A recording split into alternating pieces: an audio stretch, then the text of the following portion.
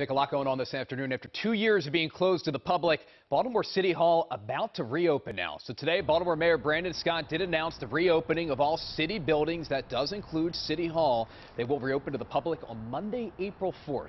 As you know, City Hall was closed to the public in March of 2020 at the very beginning of the pandemic.